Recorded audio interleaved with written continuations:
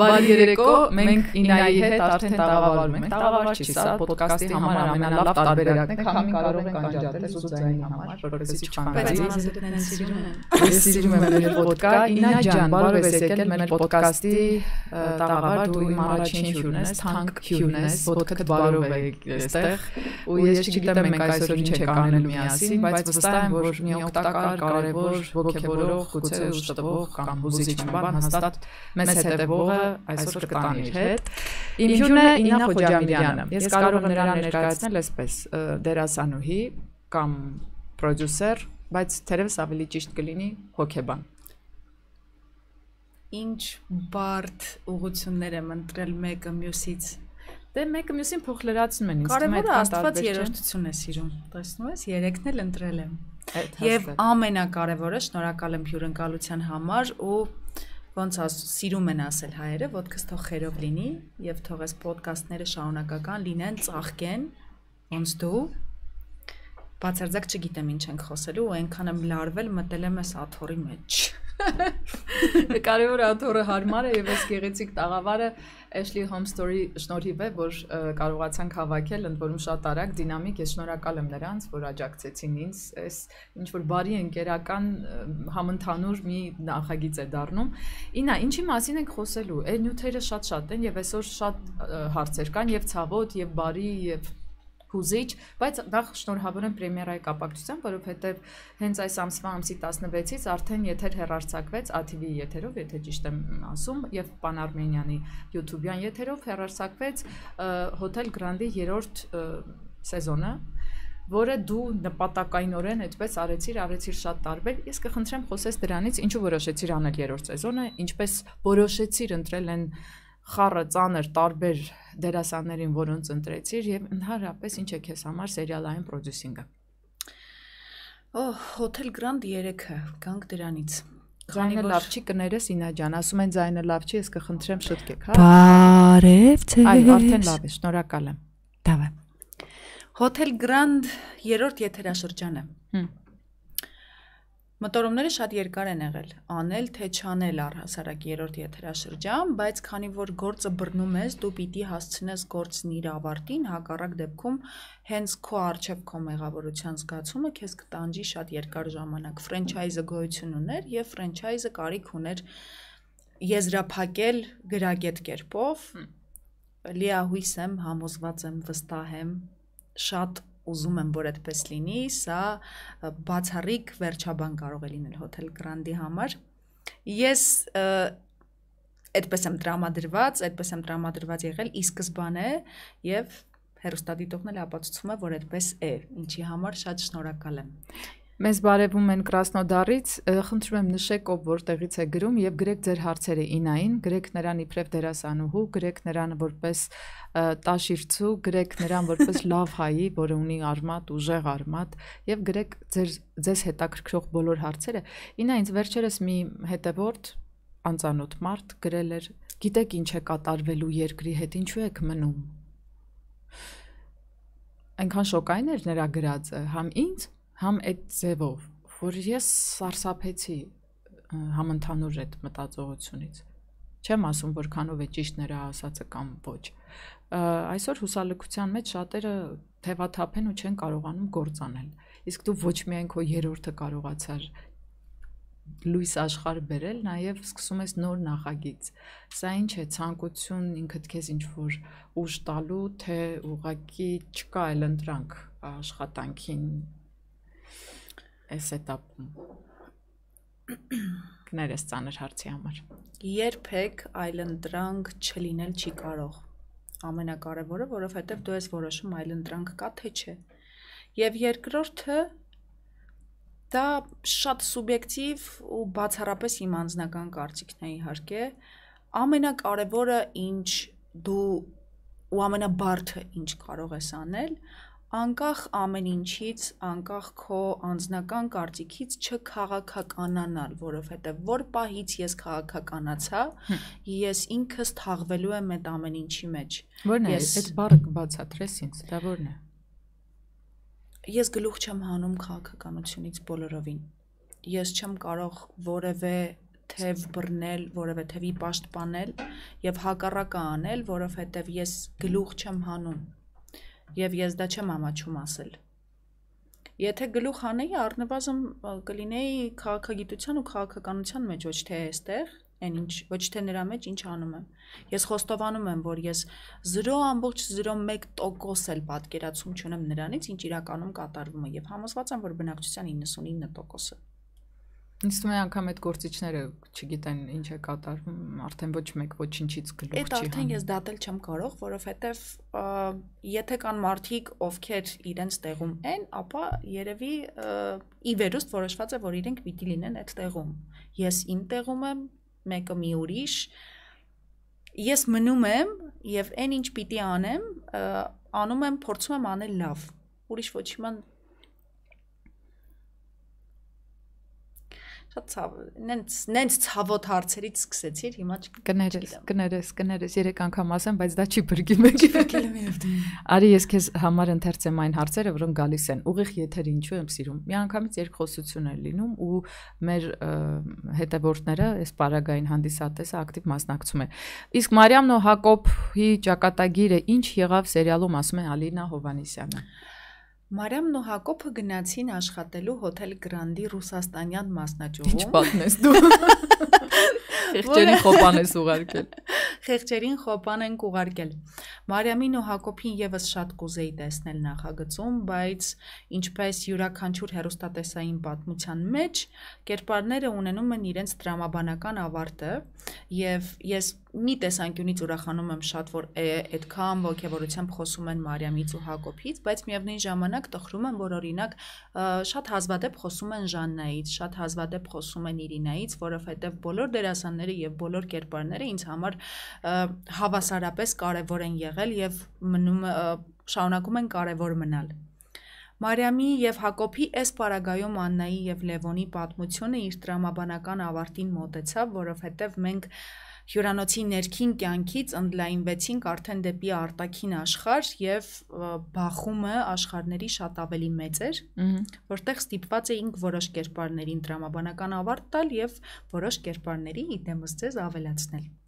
Ես շատ շնորհակալ եմ եւ հրավերի եւ վստահության համար, բայց մեր մասին քիչ անց։ Հիմա Տաթևիկ Գրիգորյանը հարցնում է. «Ինա ջան, ես 17 տարեկան եմ, դարձել ես ինձ համար մոտիվացիա, ինչ խորհուրդ կտայիր քեզ, եթե լինեիր իմ տարիքի, ո՞րն է քո կարգախոսը։ 17 տարեկանում վայելել ինչը ամեն ինչ ինչ կարող ես հասցնել վայելել, որովհետև առավել եւս 17 տարեկանում, երբ դու փորձում ես թաթախվել մեծական, գաղափարախոսական, էգզիստենցիալ մտորումների մեջ, դու կորցնում ես այն ամենահետաքրքիր տարիքը, Ես հիմա այնքան մեծավարի եմ խոսում, որ փոքր ժամանակ տնեցիներս մամայինքս խոսում էին, ասում էին ուսանողությունը ամենահետաքրքիր շրջանն է, ես ասում եի ախր ինչ կա այդ ուսանողության մեջ, որ հետաքրքիր է բացի իմ այս սևացած աչքերից, որ ես գիշեր ցերեկ քննություն, դաս քննուց ինչն է այստեղ հետաքրքիր։ Հիմա այնքան լավ եմ հասկանում։ Ամեն տարի պետք է վայելել հնարավորինս շատ լավագույնս լինել ազնիվ չկորցնել արժանապատվությունը ամենակարևորը ու միշտ նայել առաջ ոչ մի պարագայում չպիտի շրջվես հետ 17 ես 27 ես 37 ես կապ չունի որ պահին շրջվեցիր հետ նայեցիր մնալու ես անցյալում ինա նկատի ունես չշրջվել հետ որ เป զի սխալներդ քեզ հետ չգցեն առաջ գնալու մղումից Երբ որ շրջվում ես հետ նայելու համար ինչը ճիշտ արեցիր, ինչը սխալ, բնականաբար առաջին հերթին գտնելու ես սխալները, ուրիշ եղանակ չկա։ Բայց չէ՞ որ մինչև այդ սխալների հետ չբախվես, չառերեսվես, դու չես մարսի դրանք։ Եվ ախր սխալների հետ կարող ես առերեսվել առանց հետ հետ նայելու նազենի համոզված եմ։ Դու գնացիր Ամերիկայի Միացյալ Նահանգներ մի ամսով ճակերտավոր հանգստանալու, ինչու որտեվ գիտեմ, որ հոգիդ բոլորովին խաղաղ չէր, միևնույն է, ընդ որում զուտ աշխատանքային թեթև ոչ այդպես մշտական բաներով։ Եվ դրանից Արցախի այն ժամանակ մասնակի կորստի ցավը կամ այն ամեն ինչը տեղի էր ունենում, քեզ բաց չթողեց։ Այսինքն մեկ է դու վերադարձար ու էլի ավելի սուր ու ցավոտ ընկղմվեցիր քո ցավի մեջ, չէ՞ Հիմա հետ չնայեք, բայց դրանից այդ ցավը չի անցնում։ Միևնույնն է ցավը չի անցնելու, բայց հետ չնայեցի։ Aron Din ասում է thank you dear Nazeni and thank you both Inajan in this moment for great conversation and thoughts of yours։ Շնորհակալ եմ։ Հարութ Արծրունին ասում է. երեք նախադասություն, որով ամբողջացնում է, որոնք ամբողջացնում են Ինային։ Այդ դու պիտի ասես, ես ինչի երեք նախադասություն իմ մասին, որը շատ սխալ կլինի, որ ես հիմա երկար նստեմ պատվեմ իմ մասին։ Ես կփորձեմ նույնիսկ երեք բառով, բայց դու ասա։ Առաջինը։ Ով ես դու, երբ որ բախվում ես դժվարության հետ, լավ էսպես ասենք։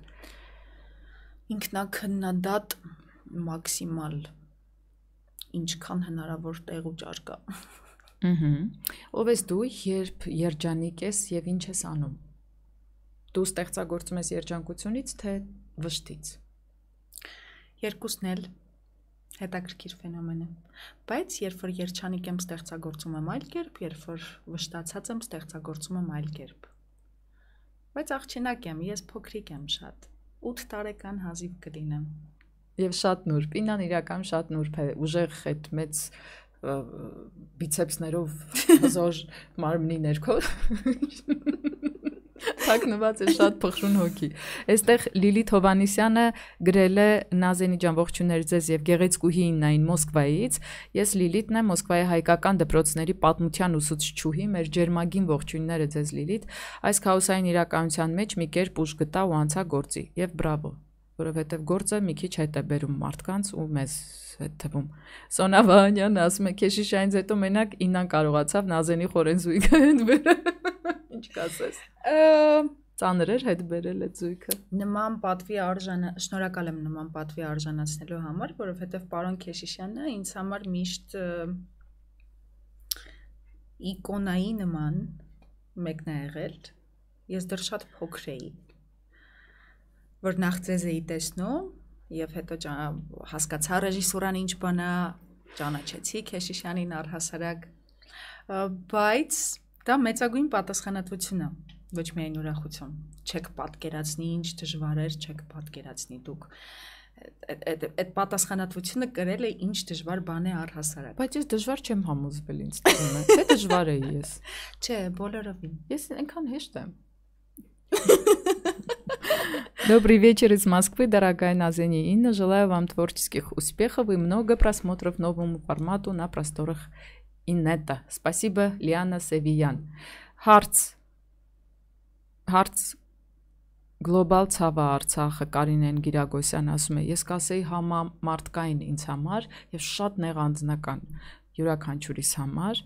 Աստվածաշունչ կարդում է Իննան Մոտավորապես 7-8 ամիս առաջ, եթե չեմ սխալվում, հաղորդման էի, Բարսեղյան գորի հաղորդմանն էի, որտեղ չեմ հիշում ինչպես ստացվեց, Սուրբ գրքի մասին խոսք գնաց եւ ես ճշտում մտցնելու համար գորին ասացի, իսկ դու որ Սուրբ գրքի մասին ես խոսում։ Դա կարող է լինել նույնիսկ Ղուրանը, եւ շատ մեծ ու ագրեսիվ ալիք եկավ իմ վրա ես դա շատ լավ եմ հիշում մինչ օրս որ ես սուրբ գիրքը համարում եմ Ղուրանը Աստվածաշունչ կարդում եմ. Հավատավոր եմ ու հավատացյալ եմ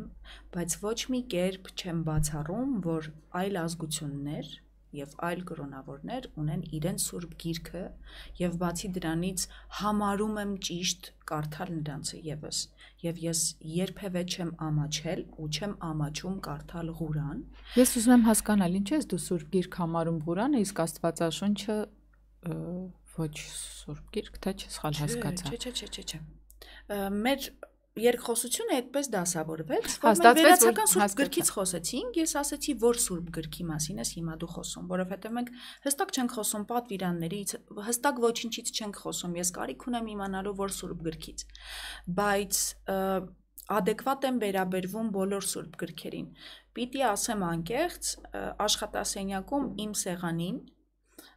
դրված է Աստվածաշունչը անգլերենով Bible Կարող եմ ես անգլերենով հասկանալ այդ շերտերը։ Դա ինձ նաև լեզվամտածողությունս բացելուն է օգնում։ Հայերենը բնականաբար կարդացել եմ 15 անգամ, անգլերեն կարդալը չի վնասի, եթե օգուտ չտա։ Հաստատ միայն օգուտ։ Եվ Աստվածաշնչի տակ դրված է անգլերենով Ղուրան։ Ես կարդում եմ այդ երկուսն էլ։ Ինչ հետաքրքիր է։ Իսկ ինչ զուգահեռներ ես գտնում կամ ինչ հակասություններ, եթե կան այդպիսիք։ Երևի թե ամենապրիմիտիվ, բայց ամենատրամաբանական տարբերությունը Ղուրանի եւ Աստվածաշնչի մեջ մենք քարոզում ենք, որ Աստված սեր է եւ պիտի սիրես ընդունես քո մերձավորներին։ Պիտի սիրես Աստծուն եւ ամեն ինչին պիտի մոտենաս բարությամբ։ Ղուրանում մեծապես գործածվում են պատժամիջոցները։ Դու պիտի վախենաս Աստծուց, որովհետեւ Ալլահի ամենամեծ պատիժը կգա քո վրա։ Երևի թե ամենա պրիմիտիվ գլոբալ ինչ առաջինը մտքիս եկավ տարբերությունը, հա։ Դե գիտես Քրիստոսի այսքան օր ուխտից հետո արդեն Քրիստոսի գալուստով Աստված ոչ թե պատժող է, այլ բուժող եւ քեզ փրկող եւ քեզ ամեն ձևով խնայող ու խնամող ոչ թե նա ճակերտավոր պատժում է իբրև բժիշկ, որը ստիպված ցավեցնում է քեզ, որպեսզի քո հիվանդությունից քեզ անի, բայց ոչ երբեք որպեսզի քեզ սպանի կամ գցի հուսահատության փոսը։ Բայց չի կարելի դա չի մնալ։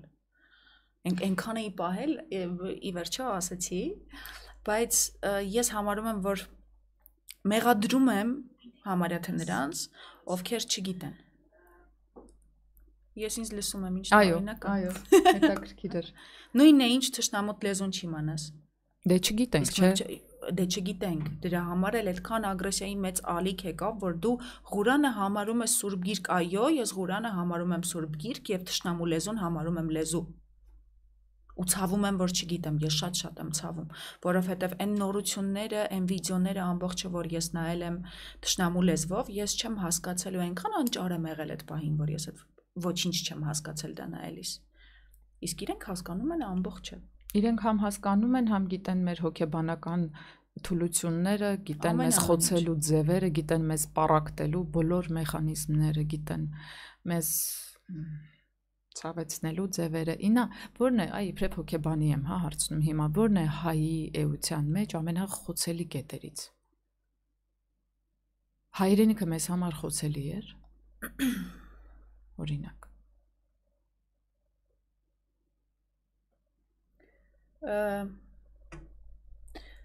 չեմ ուզի, չի ուզի ավելի ճիշտ բացասականացնել իմ կարծիքով ու իմ ներկայությամբ բայց ես չեմ համարում, որ մենք սիրում ենք մեր հայրենիք։ Եվ չեմ համարում,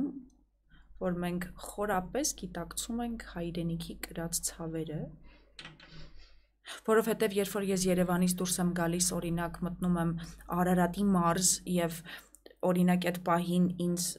անհրաժեշտ է քարտեզով տեսնել ես ուր եմ գնում, բայց միևնույն ժամանակ չեմ կարողանում երաշտություն միացնել, չգիտեմ, համակարգը խախտվել է մեքենայից եւ ստիպված միացնում եմ ռադիոն ու հայկական ռադիո չեմ գտնում, քրքրվում եմ ես դրանից։ Ես ընդամենը Երևանից հեռու եմ 30 կիլոմետր գրողոտանի նկատի ունես, որ մենք նույնիսկ այդ տեխնիկական པարզունակ հարցը չենք լուծել։ Հայրենիքը սկսվում է ամենապարզունակ հարցերից եւ դա մեծ գաղափարախոսություն չի եւ մեծախոսություն չի, որ ես սիրում եմ իմ հայրենիքը, դրսևորման ձևեր կան ամեն մանր բանի մեջ ինչ վերաբերմունք ունես դու այդ հայրենիքին երբ որ դու շատ գումար ունես օրինակ դու գնում ես եղեգիս գյուղ հանգստանալու, թե դու այնուամենայնիվ 8-րդ անգամ գնում ես Եգիպտոս։ Բայց միևնույնն է Եգիպտոսում ոչինչ չես տեսել։ Դու Եգիպտոսում նույնիսկ չես գնացել Կահիրե, նույնիսկ պատմության թանգարանում Եգիպտոսի չես եղել, նույնիսկ բուրգերը չես տեսել, Ալեքսանդրիա, Լուքսոր ոչ մի տեղ չես գնացել, դու ընդամենը 8 անգամ գնացել ես Շարմ էլ Շեյխ բայց փոխարենը մարդիկ կան, որ երբևէ չեն եղել Գյումրիում, երբևէ չեն եղել Վայոց ձորում, ել չեմ ասում, երբևէ չեն եղել Սյունիքում, Արցախի մասին էլ չեն էլ լինելու։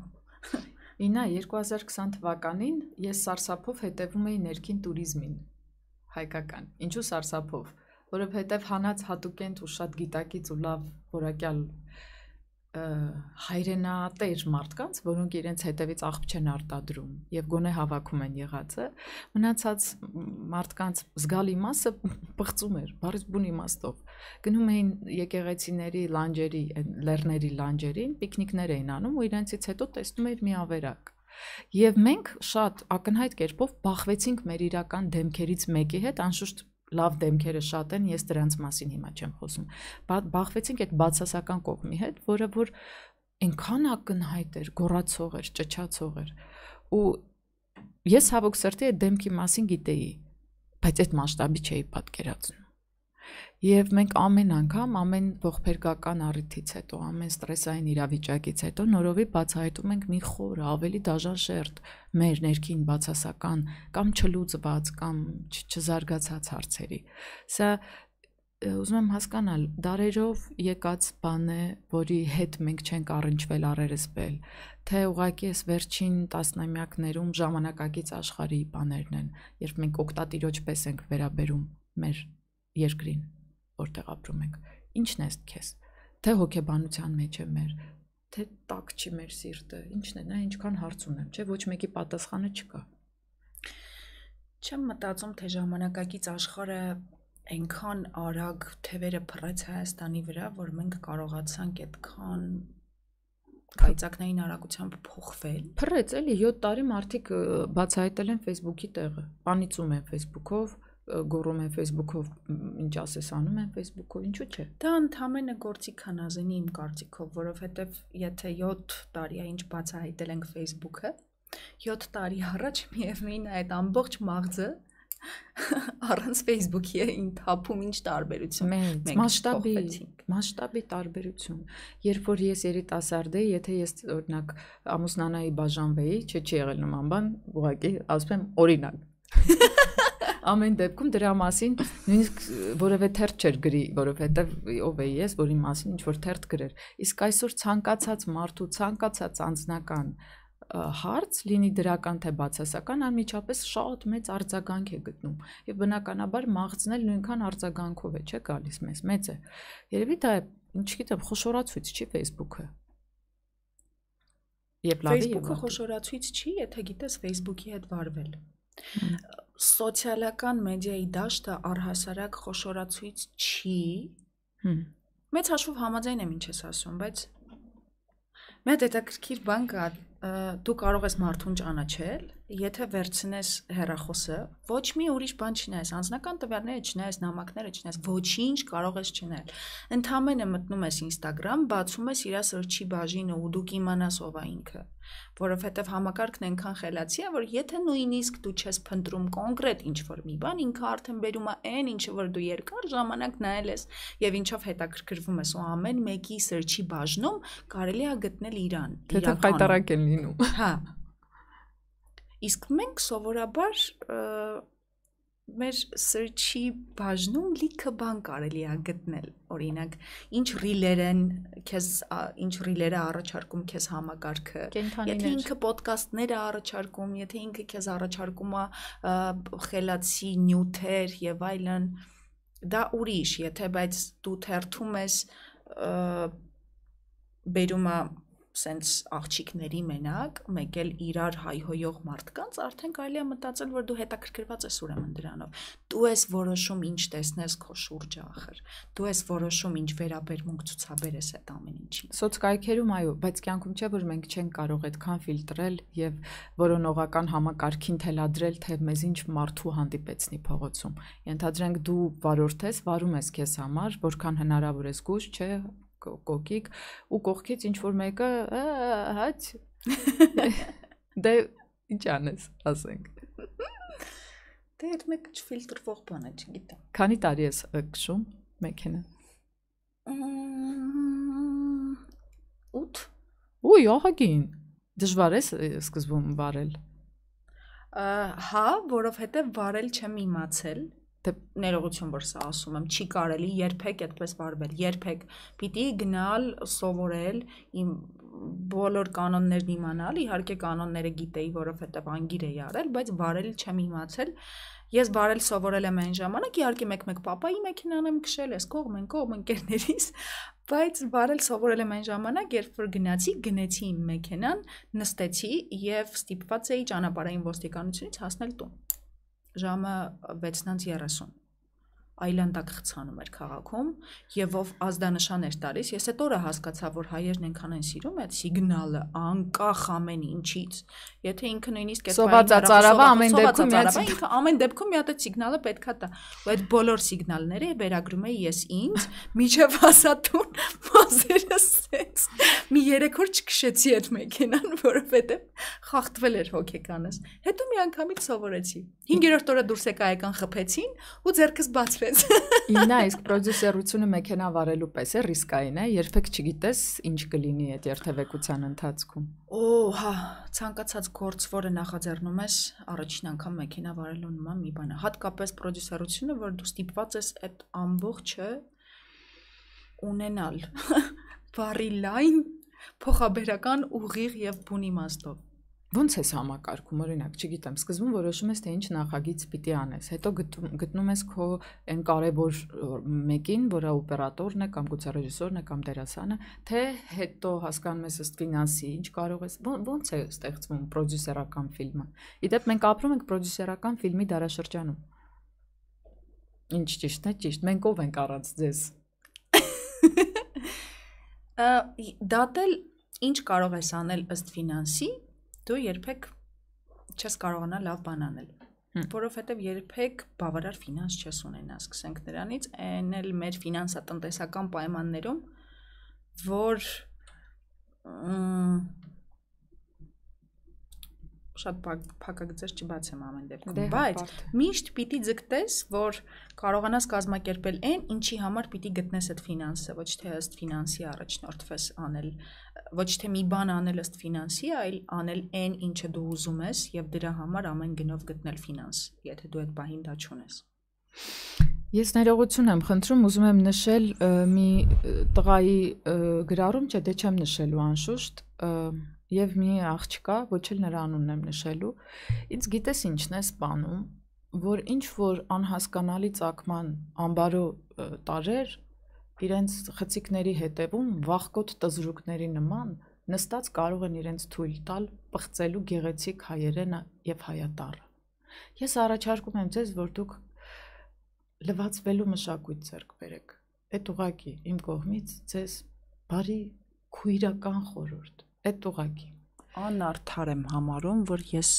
չեմ տեսնում։ Շատ արդար է, որ դու չես տեսնում, հեչ նայելու բան չի։ Բացեմ, կարդամ, նեղվեմ։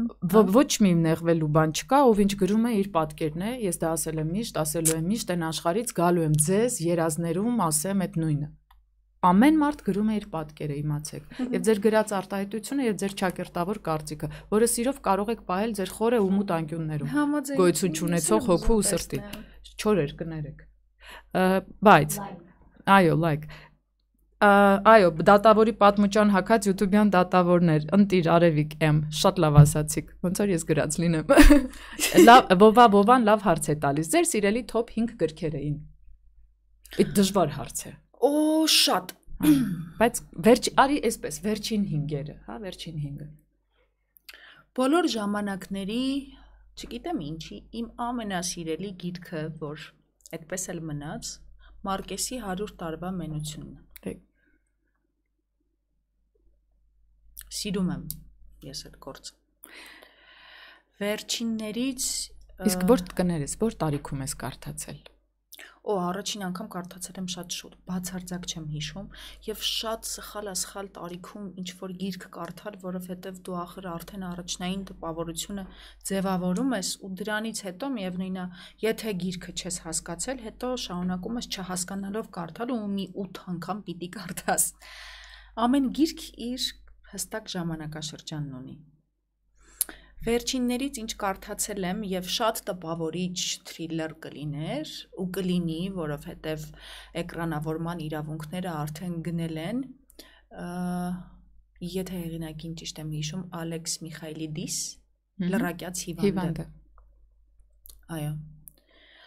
Շատ եմ սիրում Խալեդ Հոսեյնի, որովհետև իմ կյանքի ամենահուզական շրջանում եմ կարդացել ու այդ երազել է ոնց եմ տալիս։ լացել, այդ ոնց եմ լացել օթապարուկ թրցնողը, հազար չքնաղարևները, ֆանտաստիկ գրքեր են։ Շաքաղվում ես կարդալիս։ Իհարկե, այդքան գեղեցիկ գրում է իր երկրի մասին, բայց իր երկրի ամբողջ պատմությունը մի ինքնաթիռով մնաց հավերժության մեջ, երբ փորձում էին ցույց տալ այդ փախչող մարդկանց երկրից ինքնաթիռից կախված, ինքնաթիռից ընկնող։ Սա հետաքրքիր բան է, չէ՞, ոնց էր Խալեդ Հասեյնին փորձում գեղեցիկ ձևով իր Նոբելյան մրցանակներով կամ Պուլիցերյան էական չի, փորձում էր իր երկրի մասին այդ երազանքը ներկայացնել ու ստեղծել նոր բրենդ, այդպես ասած նոր բառով։ Ու փաստացի աշխարհը իր ճակերտավոր քաղաքակիրթ եւ պատերազմական ագահությամբ կերավ հոսեյնիական այդ երազանքը ու տակը մնաց ինքնաթիռի վրա ճանճերի պես թարած մարդիկ ու ընկնող ճակատագրերը։ Դա էս կյանքի абսուրդն է։ Կյանքի абսուրդ է։ Այս այսօր ես դե շատ եմ սիրում, որ դու լորվա մարզից ես, այդ մաքուր լորեցիությունը, այդ սխալ է, չէ։ Չէ, իսկ դա բացահայտ երևում է։ Չէ, ես գիտեմ ուղակի դա։ Ես դա գիտեմ ու ես դա շատ եմ սիրում ու ուզում եմ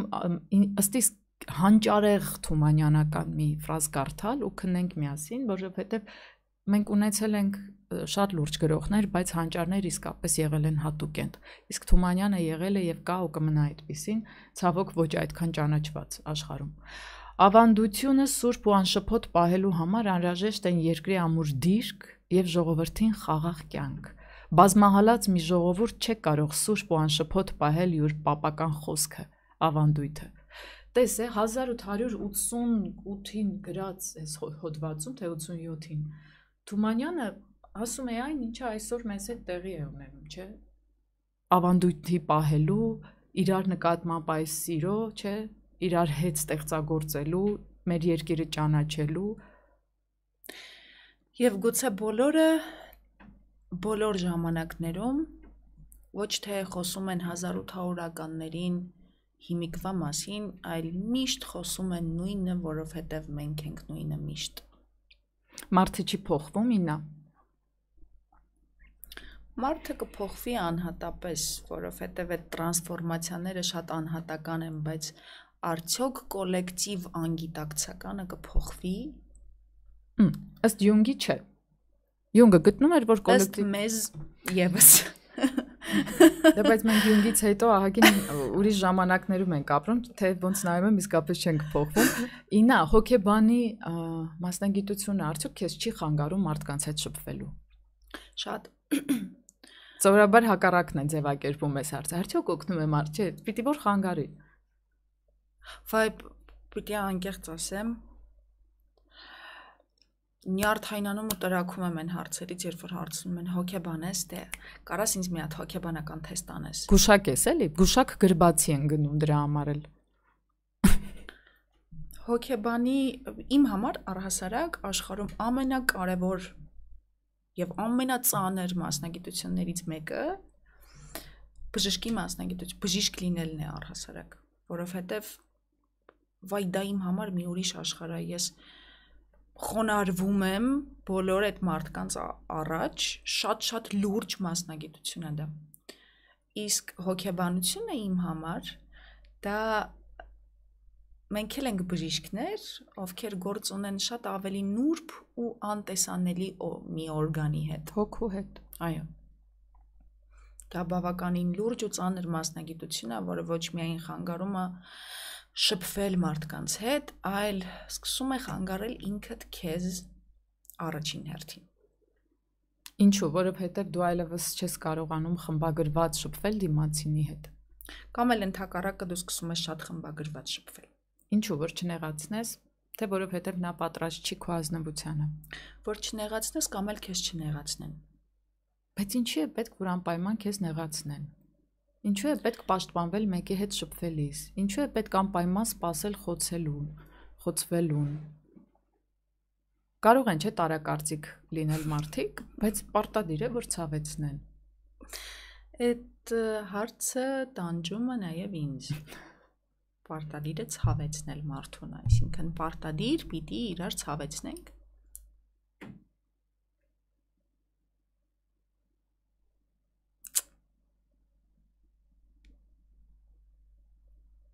տոտալ տխրություն եմ զգում այսօր։ Ինչի, չէ, չգիտեմ, եղանակից չէ, չէ։ Ես այսօր ճնշումային հարցեր կան։ եկա։ Ես լրիվ բան է, ճնշում եմ, որ ասում է տարիքը ճնշումով ես հասկանում, դա լրիվ մեր իմ մասին էր։ Ես մենք ինայի հետ լավ տարբերություն ունենք տարիքային։ Ինա կարող ես ինձ ասել ըստ քեզ, որ դու կինես, որը անընդհատ ունի ինքնուրույն գործունեություն։ Ոչ մեկից ոչինչ չի խնդրում, չի սпасում, չի պահանջում, նույնիսկ չի էլ նեղանում վաղուց արդեն։ Ինքնուրույն պատեր ես ջարդում անընդհատ։ Ա ինչև որ Չգիտեմ։ Հենց սկսում ես ջարդել, ինչ որ պահից դա վերածվում է իներցիայի դու իրավունք չունես ել չջարդելու, որովհետև դու չես կարող կանգնել, կանգնել, այո։ Թե դա քեզ ուր կտանի, կտանի այնտեղ, որտեղ կտանի։ Ինա ես կարող եմ մի օր ամեն դեպքում, երբ որ քո ընտանիքը ստեղծես, ինքնական որոշես էլ չպայքարել հողմաղացների դեմ, ինչպես որ Դոն Կիխոտներ անում։ Ուղղակի մնաս քո այդ փակ կղզիում, լավ առումով կղզիում ու պաշտպանես քո այդ կղզին արտաքին աշխարից, թե չի կարող լինել նման բան։ Այնքանով չի կարող լինել, որ եթե մի կենսակերպից միանգամից անցում ես անում մյուսին, կարող ես գժվել բարի բուն իմաստով ամեն ինչ պիտի կարողանաս բալանսավորել կյանքումդ։ Եթե կարողացար, հաղթել ես, եթե չկարողացար, ուրեմն դու էլ գծել ես քո ճակատագիրը, որովհետև ի սկզբանե անկախ քեզնից դու ես որոշել ինչ ճանապարհով ես գնում։ Շատ ուզում եմ բալանսավորել եւ չեմ էլ կարող ասենց ամբողջովին բաց թողնել ես ամենը ինքնահոսի եւ ասել դե հիմա որոշեք իմ փոխարեն եւ խնդրում եմ պահեք ինձ։ Ինձ իմ կողակիցը, իմ կողակիցները սիրում են այնպիսին, ինչպիսին ճանաչել են։ Ես այլ կերպ իրավունք չունեմ այլևս լինելու, որովհետև ես ընտրել եմ այս տեսակը։ Ես ես եմ։ Եվ պարտավոր եմ դրա հետ հաշվի նստել։ Յուրաքանչյուրս պարտավոր ենք դրա հետ հաշվի նստել։ Հիմա մարդը փոխվում է թե ոչ։ Եթե շատ աշխատես քո վրա, հա, բայց պիտի կարողանաս այդքան կամքի ուժ ունենալ քեզ վրա աշխատելու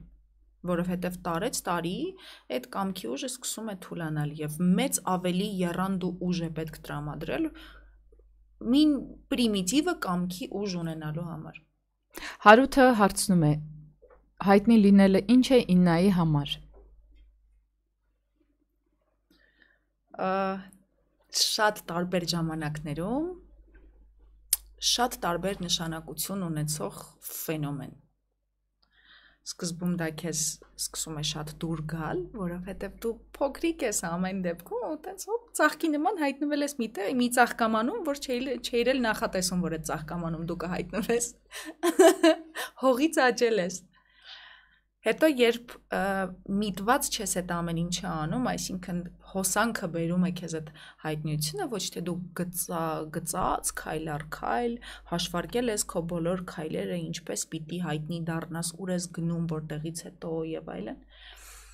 Հասկանում ես, որ դու այդ քամիներին պատրաստ չէիր ու սկսում ես սենց այնքան ծածանվել, ինչև գտնում ես իսկական քեզ։ Հենց գտար իսկական քեզ, հայտնիությունը դա կյանքի երանգներից մեկն է, որը ընդհանրապես բաժին է հասել քեզ։ Բայց էապես մեծ կարևորություն չպիտի ունենա։ Իսկ քեզ համար? Ինձ համար ինչ։ Քեզ համար դա երանգեր ուղակի, մինչև հիմա երանգ է։ Էդ եմ ուզում ասել, ոչ մի վառ փոփոխություն չի բերել քո կյանքում, հենց մնացել այդպես ֆոնային, երանգային բացարձակապես տենց չի, չէ գլխի վայր շուռ ա տվել իմ կյանքը բնականաբար անհնար է այդպես չլինի դու ել երբեք նախկինը չես ել երբեք Ինա իսկ հայտնիությունը, որը ավտոմատ կամա թե ակամա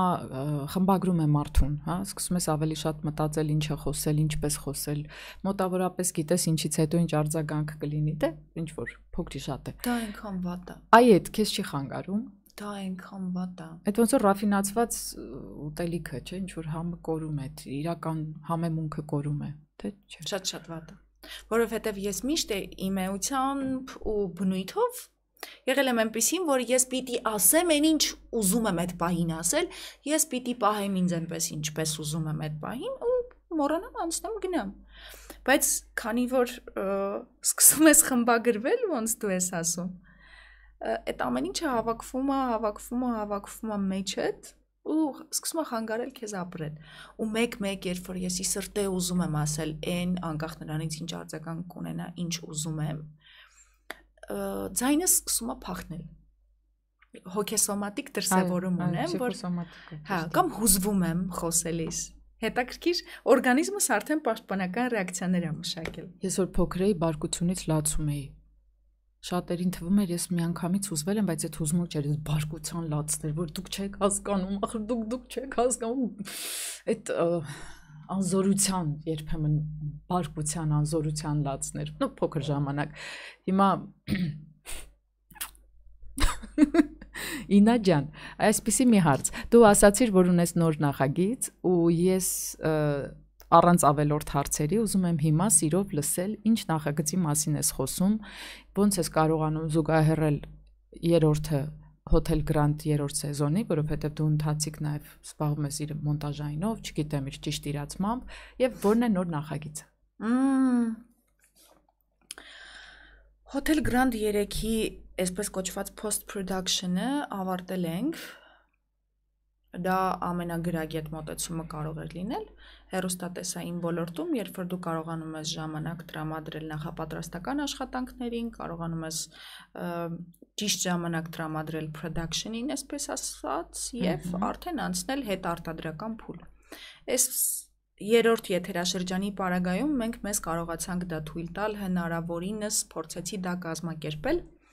Չնայած անընդհատ բացում ենք, շտկում ենք, փակում ենք, բացում ենք նորից, շտկում ենք 85-86-րդ անգամ էլ որ նայում ես, շտկելու բան ես գտնում։ դե հա։ Չնայած եթե նայեցիր 87-րդը, արդեն հիվանդագին մոտեցում է, որովհետև իմ թիմը շատ հաճախ ինձ ասում է, որ դու արդեն հիվանդագին ձևով ես մոտենում, ախր ոչ մեկը չի նկատում, որ Նազենին մոտեցավ հերախոսին, կողքի կնոպկային սխմեց։ Բայց ես կտեսնեի։ Ասեցի ու արդեն կնկատեն։ Բայց ես կտեսնեի։ Ես օրինակ նման բաներ կնկատեի, որ բանաճկով էլի։ Գուցե ես եմ հիվանդագին մոտեցում դրսևորում, բան չունեմ ասելու, բայց ես իմ գործի մեջ այդքան պերֆեկցիոնիստ եմ, ես հնարավորինս իդեալականի մոտ պիտի լինի։ Նոր նախագիծը անընդհատ շրջանցում եմ, տես այդ հարցը ես։ Հա, ես համաձայն չեմ։ Ախր ոնց պատմեմ դրա մասին, եթե պիտի սենց վստահ լինեմ, որ ամեն ինչ պիտի պատմեմ իր մասին։ Գոնե կարճ ինչի մասին է լինելու։ Ֆիլմ է։ Ֆենտեզի։ Օ, ընտիր, տեսար ահագին բան իմացանք ինձ։ Լավ, վերջ։ Դոբրի Պարինյը հարցնում է որ ոսկե դկնիկին որ տեսնեք, առաջինը ինչ կցանկանաք դկնիկին։ Ոսկե դկնիկին եթե տեսնեի, կուզեի ոսկե դեկնիկը ֆիլտրեր այն բոլոր մեկնաբանությունները։ Մենք հիմա ունենք մի փոքրիկ դեկնիկ այնտեղ ֆիլտրվում են այդ մեկնաբանությունները։ Չէ, իհարկե չէ։ Ես ես ասեմ, ես բոլորովին ազնվորեն եմ ասում, բոլորովին դեմ չեմ որևէ մեկիս մասին քննադատական որևէ մեկնաբանության ու երբեք դրանց ձեռք չեմ տա, բայց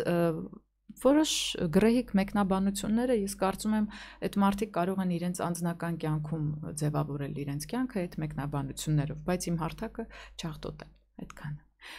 Առաջին ցանկությունը ո՞րն էր ոսկե ձկնիկին կոմենտներից բացի։ Կոմենտներից բացի ես շատ ուզում եմ այնուամենայնիվ որ մարդիկ կարողանան իրար սիրել որովհետև սերը բացի գրքային, վերացական հասկացությունից շատ ավելի խորը իմաստ ունի, շատ ավելի խորը, որը հատկապես մենք չենք հասկանում։ Ցավոք։ ես շատ-շատ եմ, երբ մենք սկսենք իրար սիրել, է այնքան չքնաղ երկիր է սա, երթվում եմ այնքան չքնաղ, որ չափ ու սահման չկա երազանքների, երազելու եւ հենց այդ երկրում ապրող ու այս երկրում ծնված ժողովուրդը պարտավոր է իրար սիրել դա պարտականություն է արդեն ոչ ցանկություն է, ոչ մաղթանք, ոչինչ, դա պարտակա պարտավորություն սովորել իրար սիրել ամենակարևորը։ Կարեն Խաչատրյանը հարցնում է. Խնդրում եմ։ Կան բարեր, որոնք արժե զրկվել են։ Շատ սիրուն ու լավ հարց, խորը հարց։ Նույն ես քեզ սիրում եմ, հղում տամ նախորդ պատասխանից։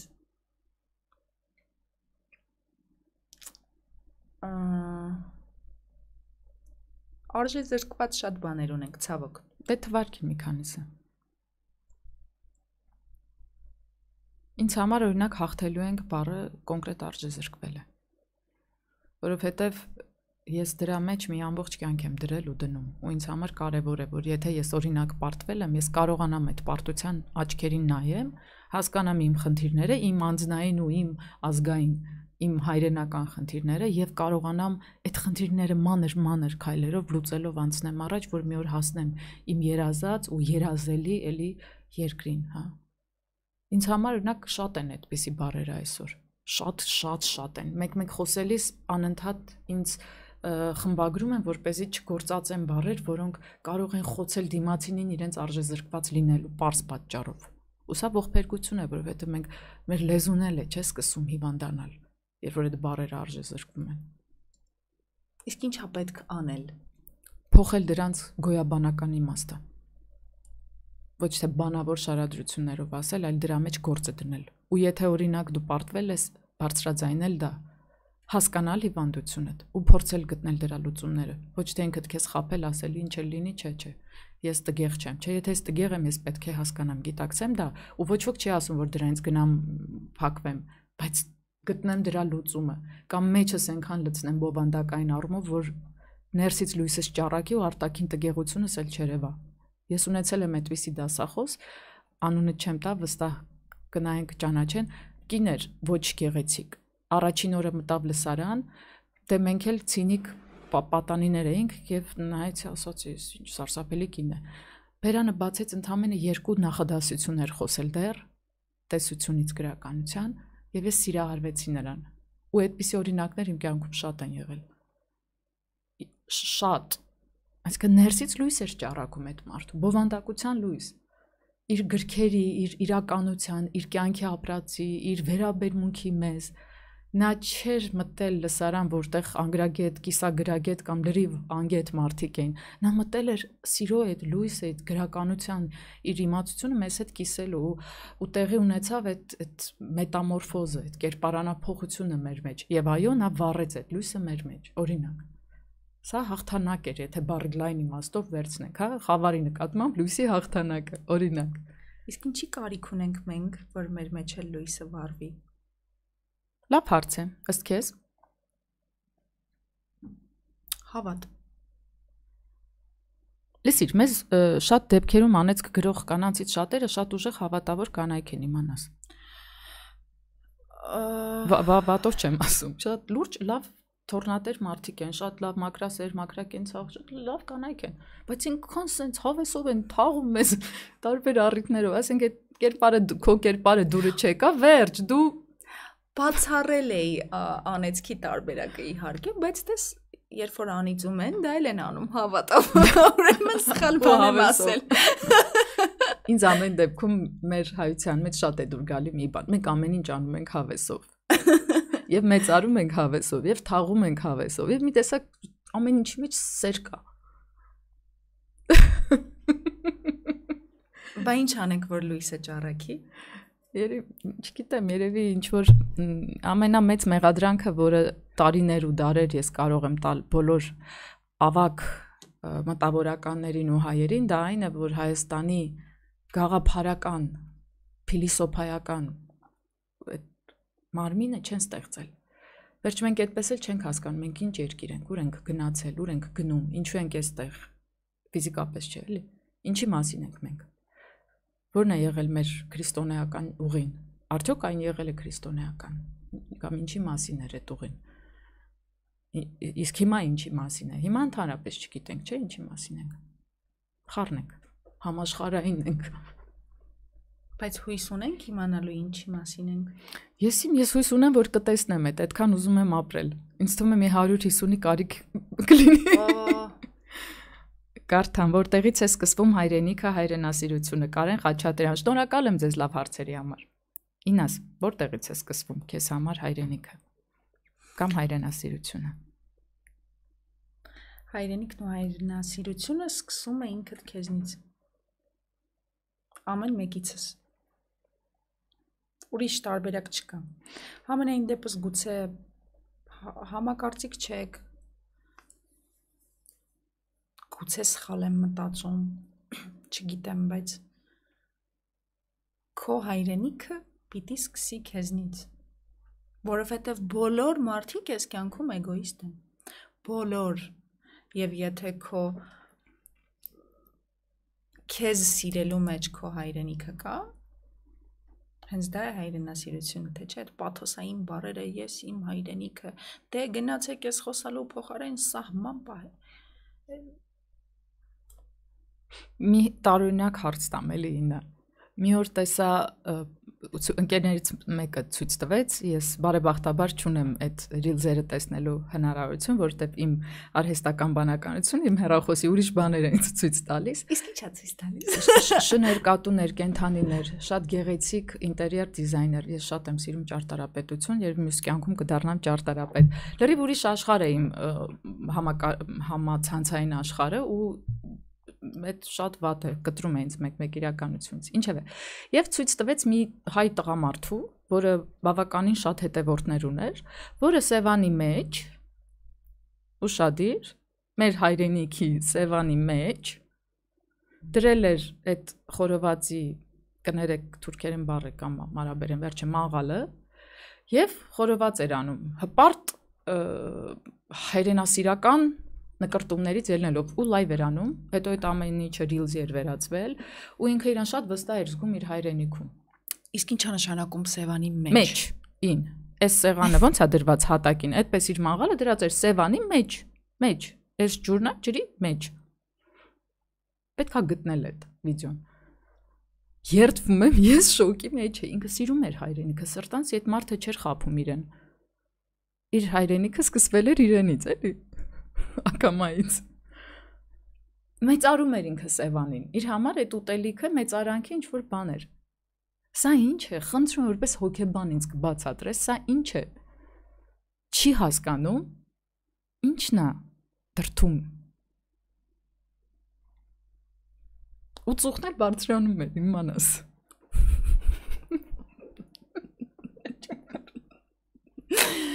Այս տիպի այնքան դրվագներ ունեմ, մեկ-մեկ ուզում եմ հասկանալ, ինչու։ Իսկապես ես շատ եմ այնքան նոր բաներ եմ հակարդում ու հին բաներ, որ գտնեմ ինչուներ ու գտնեմ պատասխանները, որ այդ սկափարիչս մեկ-մեկ սարճ չի, որ հասկանամ ինչու Սևանի մեջ այդ խորովածը ինչու որովհետև մեզ այդպես սովորեցրել են նազեն։ Բայ, բալամ։ Ով։ Ինձ ու քեզ սովորեցրել են, որ պետք է գնալ խորոված անել Սևանի մեջ։ Իսկ որևէ մեկը սովորեցրել է, թե չէ։ Այսինքն ինչ որ մեկից ինքը դա սովորելա, թե չէ։ Ինչ որ մի բան պիտի տեսնես, որ սովորես, թե չէ։ Այսինքն մարդասպանը սովորել է ինչ որ մեկից մարդ սպանել։ Չեմ ասում հենց բառացի պիտի տեսնես որ papan Սևանի մեջ ուղակի 84 թվին դրած խորոված էր անում որ դու մեծանաս փորկցես որ նույնը անես Գիտես ես շատ եմ սիրում հայության հյուրասեր լինելը ու ես շատ եմ սիրում այն մեծ ընտանիքներով հավաքները։ Մենք այդ հավաքների շատ ենք եղել, իմ ընտանիքները շատ են մեծ, համ հայրիկի, համ մայրիկի կողմից։ Բայց ես միևնույն է, ամենայն սարսափ երազում չեմ կարող պատկերացնել, թե այդ ինչ է մարդու ուղեղում կատարվել, որ Սևանի աբին էլ չէ, այլ Սևանի ներսում մարդը կամ Աբովյան փողոցի վրա, սակայն որն է տարբերությունը։ Կամ հրաապարակի մեջտեղում տարբերություն կա։ Իսկ գուցե այդ ամեն ինչը արվում է ցուցադրելու միտումով, հնարավոր, որովհետև երբ որ դու լայվ չես անում եւ չես նկարահանում այդ ամեն ինչը դու Սևանի ափին անես, ոչ թե Սևանի մեջ։ Իսկ մենք տարապում ենք ցուցամոլությամբ։ Մենք լրիվ ուրիշ ենք էկրաններից այս կողմ եւ լրիվ ուրիշ ենք, երբ որ էկրանների դիմաց ենք հայտնվում։ Եվ դա բացարձակ միայն հանրային մարդկանց չի առնչվում։ Բոլորը Դե հա կարիք ունենք ինչ որ բան ցույց տալու եւ քանի որ դրա հնարավորությունը չենք ունեցել ու այնքան ենք պարպել այդ ագրը ինչ որ մի բան անընդհատ պարպել ենք հիմա սխալ բաներ ենք ցույց տալիս որովհետեւ սխալ ենք հասկանում ինչ ցույց տալ։ Դա ամբողջ խնդիրը իմ կարծիքով։ Շատ խորը ու լավ կետի դիպար, այդ մի նոր կներեք օտարամոլ բառ է, խայփ, հա, խայփ են բռնում։ Իսկապես, ահա որ խորը բան ես ասում։ Ես մտածում եմ կարող է այդ խայփը, այսինքն որ մասսայական վայելում ճանաչելու համար տարբեր վիդեոներ են անում, բայց ինչքան կարող է մարդը գնալ, խորանալ իր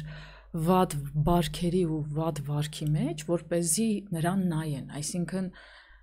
այդ ինչքան դու կարող ես խորանալ էլի քո խավարի մեջ խավարի մեջ խորանալ շատ ավելի հեշտ է լուսավոր կետ գտնել ու լույսի մեջ տարածվել աշխարհի ամենաբարթագույն բաներից մեկը դրա համար տարալուծվել խավարի մեջ միշտ շատ ավելի հեշտ կլինի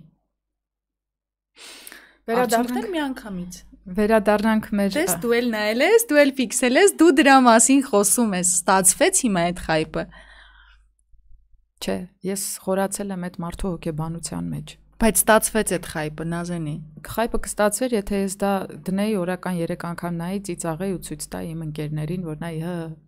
բայց ես ցավ եմ ապրում։ Ցավ նախ Սևանի համար։ Դա արդեն քո adekvat վերաբերմունքն է։ Բայց ես ոչ adekvat ցավ եմ Մեկը 10-ին հարաբերակցությամբ դու չարեցիր այդպես, մնացած 10-ը արեցին ընկերներին ցույց տալով, ասելով արա հələ էս ինչա։ Ես իսկապես ցավում եմ, երբ որ տարօրինակ վիդեոներ են իրար ուղարկում, տարօրինակ, երբ որ այդ մարդը պետք է գնա օրինակ հոգեբուժի մոտ, դիմի լավ մասնագետի, որովհետև մարդ է եւ ապրելու արժանապատիվ որակով ապրելու շանս պետք է ունենա։ Ու նրան մասնագետ է պետք ու ես տեսնում եմ, որ այդ վիդեոները մարդկանց մոտ ճակերտավոր առողջ ու adekvat մարդկանց մոտ առաջացնում են ծիծաղ կամ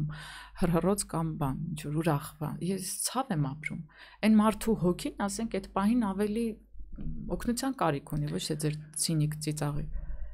Կարող է ես եմ հիմա շատ սխալ տեղում իդեպ։ Հոգեկան առողջությանը հետևելու մշակույթը դա եւ դա բոլորովին առանձին մշակույթ է։ Մենք չունենք։ Արդեն ունենք ունենք ու ես չափազանց ուրախ եմ դրա համար չափազանց ուրախ եմ բայց կարծում եմ չենք ունեցել համենայն դեպս այն ինչ տեսել եմ ես եւ մեզնից մեծ սերնդի մեջ չի եղել իսկ դա շատ-շատ չեմ ասում ուրիշ ծայրահեղություն լինի, բայց դա շատ-շատ կարևոր բան է հետևել սեփական հոգեկան առողջությանը ու չհամաչել դրանից, որովհետև հոգեկան առողջությանը հետևելը դեռևս դիագնոզ չի։ Մերին շատ լավ հարց է գրել։ Իննա եւ Նազենի ջաներ, դժվար չի ցածր էմոցիոնալ ինտելեկտով մարդկանց հետ շփվելը օրվա ընթացքում չեք հյուծվում։ Ես օրինակ իմ միջավայրում ինձնից խելացի մարդիկ են ու ես իրենցից շատ բան եմ սովորում ամեն անգամ։ Այսինքն ես չգիտեմ ես խելացի եմ թե չէ, կներեք սխալ հնչեց, բայց այնքան խելացի են իմ միջավայրի մարդիկ, որ ես հյուծվում եմ նրանց հասկանալ, փորձելով ու մի նոր բան տանելով, բայց հարցը լավ հարց է շատ։ Քեզ մոտ ինչ վիճակ է։ Հավատացեք, ցածր հուզական ինտելեկտ ունեցող մարդկանցից եւս կարելի է սովորել։ Ինչ թվում է նախամարթում բերեն հիմա որ պահպանված լինի տեսնես դու ինչ որ բան ես սովորել հա դե նախամարտը գիտեր ապրելի տարբերություն մեզ Մենք հաճախ ուղղակի սպառում ենք։ Դեռ չկային ինտելեկտները, հուզական ինտելեկտները, արհեստական ինտելեկտները եւ այլն, բայց թեկուզ ցածր հուզական ինտելեկտ եւ առհասարակ ցածր քարակուսի ինտելեկտ ունեցող մարդուց եւս կարելի է սովորել իմ կարծիքով։ Գրանուշ Ասատերյանը գրել է. Հոթել Գրանդը անորակ արտադրանք է։ Շնորհակալություն Հրանուշյան կարծիքի համար։ Ես իհարկե շատ կուզեի, որ դուք այս պիտակավորմամբ չխոսեիք, այլ մանրամասնեք, օրինակ ինչու է ըստ ձեզ անորակ, անշուշտ ըստ ձեզ, ինչն է ձեզ համար որակյալ արտադրանքը, հայկական հերոստաշուկայի մասին ենք խոսում, եւ ընդհանրապես որոնք են ձեզ համար այն որակական չափորոշիչները, որոնցով դուք հիմա ձեր այս գրառումը արել եք։ Ասում եմ շատ հանգիստ, ինչպես նկատեցիք, առանց նեղվելու, թե հոթել Գրանդում ես էլ եմ խաղացել ու Okay։ Ինձ էլ ասեք խնդրում եմ այդ որակական չափանիշները, որովհետև ես ուզում եմ դրանք իմանալ, Հրանուշ ջան, եւ անպայման ուղղել, որպիսի առնվազն հաջորդ նախագիծը ձեր համար լինի որակյալ։ Որոնք են որակի չափորոշիչները ին այսօր սերիալային։ Կան այդպիսիք որովհետև առանց անուններ նշելու զուտ գոլեգաներից նկատմամբ չեմ ուզում էլի ոչ կոլեգիալ գտնվել, բայց այն արտադրանք, որ այսօր կա համացանցում թե հերոստատեսություններում ընդհանրական այնքան դաժան բաներ եմ տեսնում ու ուսումնասիրելուց հետո ես սարսափեցի տեսնելով թվագրություն, այսինքն այդ թվակ թվերի դիտումների քանակը, որքան ցածր է որակը, այդքան բարձր է դիտումների քանակը։ Էս ինչ է էլի այդ Սևանի խորովածի ֆենոմենը լուրջ որոնք են այսօրվա մեր հերոստաշուկայի կողմից թելադրվող որակական չափորոշիչները կան այդպիսիք թե ով ինչ ուզում անում է որտեղ ես չկամ TV-ներում դրա համար եմ հարցնում չափորոշիչներ բնականաբար կան Ցավոք թե բարեբախտաբար ես չեմ առաջնորդվում այդ չափորոշիչներով, որովհետև ինձ հնարավորություն են տվել եւ թույլ են տվել իմ համար գծել իմ չափորոշիչները, ինչի համար ես շատ ուրախ եմ եւ շնորհակալ։ Դրանից հետո արդյոք ստանում եմ որակյալ ապրանք, թե չեմ ստանում։ Շատ կարևոր են կարծիքները եւ մասնավորապես շատ կարևոր են կոմպետենտ մարդկանց կարծիքները որովհետև միշտ պիտի հաշվի առնել այն մարդկանց կարծիքը, ովքեր այդ գործի մեջ շատ ավելի լավն են արել։ Ին բայց չէ որ հանդիսատեսն է նայողն ու գնահատողը։ Ի վերջո մենք արտադրում ենք, ապրում ենք, խաղում ենք, այսպես ասած, մեր հանրության համար, որը վերջնական արդյունքի անմիջական գնահատողն է։ Ես չգիտեմ ինչ է ուզում հերոստադիտողը, եւ ես չեմ կարող առաջնորդվել դրանով, որովհետեւ չեմ հավատում եմ վարկածին, որ պիտի տաս այն, ինչ հերոստադիտողն ուզում է։ Դու պիտի սովորեցնես հերոստադիտողին նայել այն, ինչ դու տալիս ես։ Եվ վատը եւ լավը չէ կարող է սովորել։ Եթե